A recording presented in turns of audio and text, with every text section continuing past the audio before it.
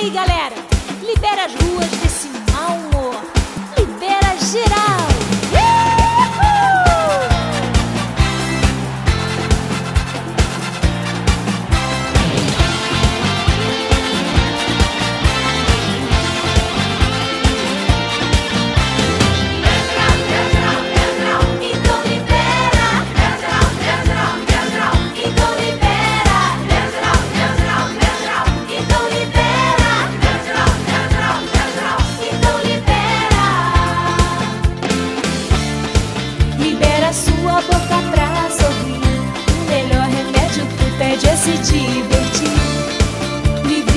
passar.